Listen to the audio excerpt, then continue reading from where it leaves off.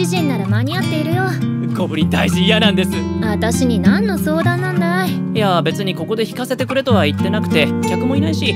人の話くらい聞けよバカ！この代金しっかり2人分取ってるじゃないですか。嘘から出た誠と言いますか。どんなモンスターを倒しても経験値ゼロ。子供売ったんかい！伝説の剣偽造問題。最初は村おこしだったらしいよ。賢者大切。ただでさえ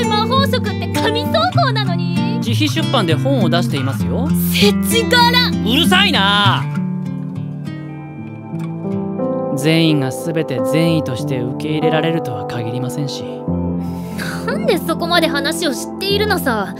たかだか銀融詩人のザレ言なんてどこまで本当かわからないって言われるとそれまでなんですけど。センスのない歌でも歌いなよ。ご用意しておきますよ。とっておきの英雄譚を知りたいなら教えてやるよ。勇者様の真実とやらをね。